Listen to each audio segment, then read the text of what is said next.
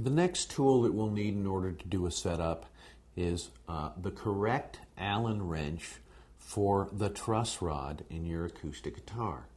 If you've got an acoustic guitar, a modern acoustic guitar, they almost all will have a truss rod inside of them that is adjustable that deals with the tendency of wood to want to warp like this.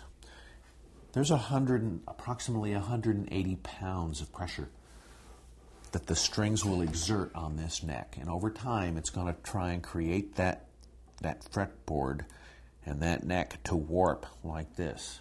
So the truss rod is built into an instrument, and I'll show you with this one, an instrument that's being manufactured now.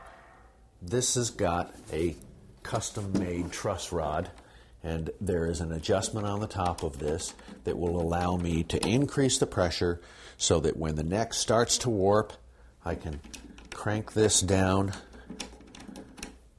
and with pressure force the neck to go back to a level position. The tool that's needed to adjust most modern truss rods is a typical Allen wrench.